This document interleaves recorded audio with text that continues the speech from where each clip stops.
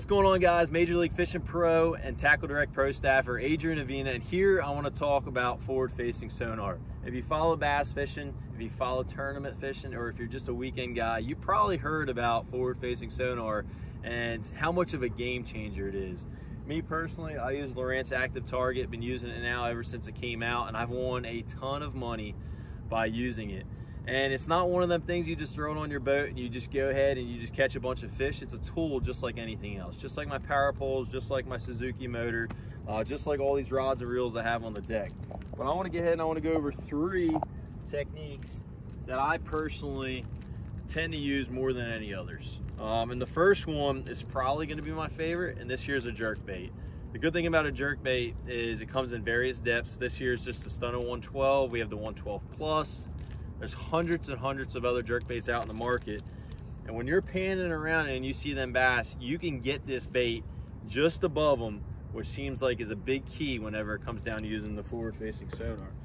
Another really good bait that just simply just catches a lot of fish is a single paddle tail swim bait. This here is a Berkley Power Swimmer. Got it on my brand new Signature Series rod, which I'm pretty hype about.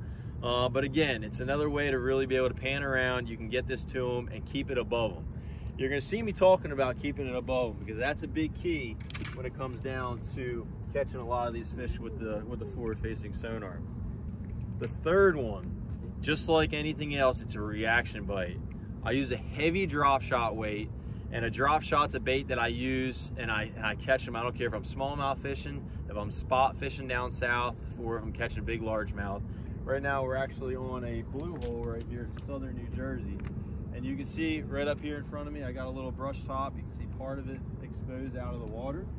I'm gonna have you come up here. I'm gonna show you exactly what it looks like on the graph. So I'm gonna get ahead, and I'm gonna pan over there. And if you look right here, that right there's the brush pile. And I'm gonna pitch this drop shot over to it and you're gonna watch it go down just went right down there in the middle. You can see a bunch of other fish in there. But this necessarily isn't a tool to simply just catch a bunch of fish. It can be, but it more so just keeps you in that productive water. It's a great asset to a bass boat. If you guys are in the market, check it out.